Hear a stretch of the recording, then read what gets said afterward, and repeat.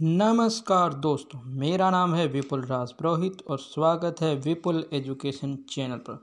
दोस्तों pre B S T C और P T T REET C TET और other exam के अंदर इंडियन हिस्ट्री के क्वेश्चन पूछे जाते हैं। ज़्यादातर बी एस टी सी के अंदर इतने नहीं पूछे जाते, लेकिन P T T C REET और सी टेट में इंडियन हिस्ट्री के क्वेश्चन बहुत आते हैं। तो आज से हमने इंडियन हिस्ट्री के, स्पेशली इंडियन हिस्ट्री के वीडियोज़ आपके लिए शुरू किए हैं।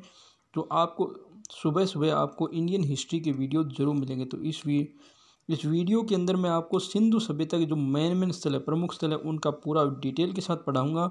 तो वीडियो को स्किप बिल्कुल भी मत करना।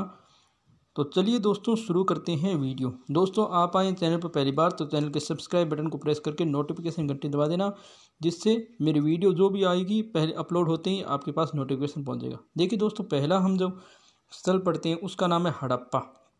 हड़प्पा जो है, इसकी खोज 1921 में की गई थी और इसके खोजकर्ता थे दयाराम साहनी, जिन्होंने उत्खनन किया था उनका 1922 से 25 और इसकी स्थिति बताएँ तो ये वर्तमान में तो पाकिस्तान का पंजाब प्रांत है, उसके माउंट आगर ज़िले की रावी नदी के तट पर है।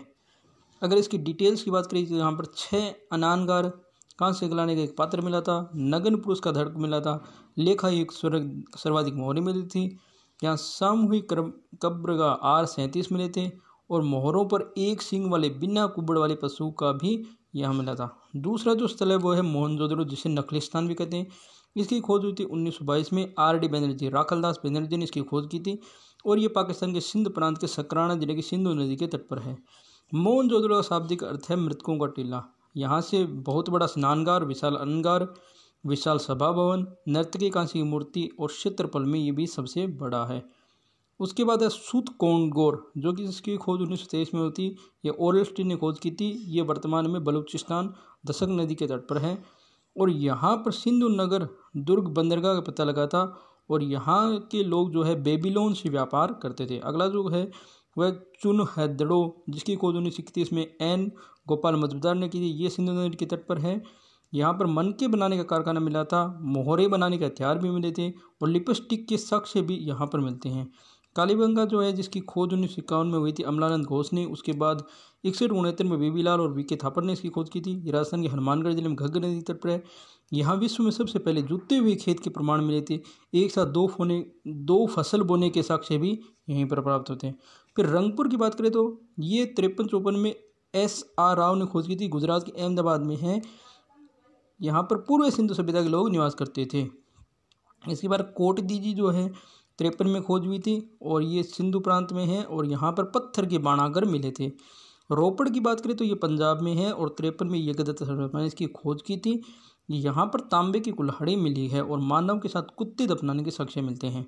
लोथल जो कि उन्नीस सौ सत्तावन में कक्षा ग्यारह की पुस्तक जो है एन की, उसके अनुसार एस आर राव ने इसकी खोज की थी चौपन में और अहमदाबाद के गुजरात में ये मिला है और यहाँ एक गोदीवाड़ा यानी डोर्क यार्ड के प्रमाण मिले हैं।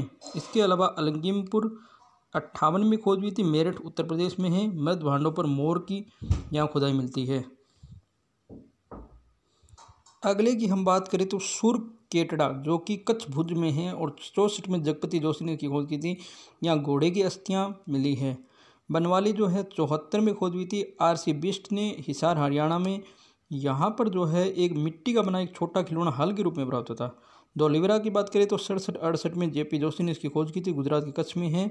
और यहाँ पर तीन खंडों में दुर्ग विभाजित मिला था, यहाँ सर्वोत्तम जल प्रबंधन भी हुआ है। इसके बाद के बालकोट की बात करें तो ये, जो है त्रिश क्षेत्र में है और ये कराची के निकट है और यहाँ कच्ची, इमारती कच्ची मिट्टी की बनी थी।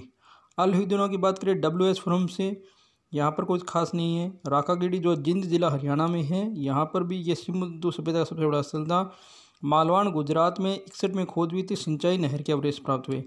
इसके बाद रोजीदी भी है, जो कि राजकोट, गुजरात में, मिठातल, भिवानी में, संगोल, लुधियाना में, मांडा, जम्मू कश्मीर में और दयामबाद, अहमदनगर में। तो दोस्तों, ये थे सिंधु सभ्यता के वह प्रमुख स्थल जो कि आपके एग्ज़ाम के दृष्टि से महत्वपूर्ण है। अगर आपको ये वीडियो पसंद आए तो वीडियो को कर देना लाइक, अगर नए पसंद आए तो आप अपनी मर्ज़ी से डिसलाइक ठोक देना और कमेंट सेक्शन में बता देना कि आपको वीडियो कैसा लगा। अगर आपको वीडियो अच्छा लगा और अगर आप कमेंट में कहोगे कि इंडियन हिस्ट्री पर अगला वीडियो चाहिए, तभी आपको मैं वीडियो बनाऊँगा। अन्यथा मैं वीडियो, इंडियन हिस्ट्री पर अगला वीडियो नहीं लेके आऊँगा क्योंकि अगर आपको पसंद नहीं आए तो फिर क्या काम की बात है? तो यही था वीडियो दोस्तों। वीडियो को करता हूँ समाप्त। आप सभी को मिलूँगा मैं अगले वीडियो में। तब तक के लिए चैनल को सब्सक्राइब करके नोटिफिकेशन बेल दबा देना और घंटे के निशान को ज़रूर दबा देना। लाइक कर देना। धन्यवाद दोस्तों।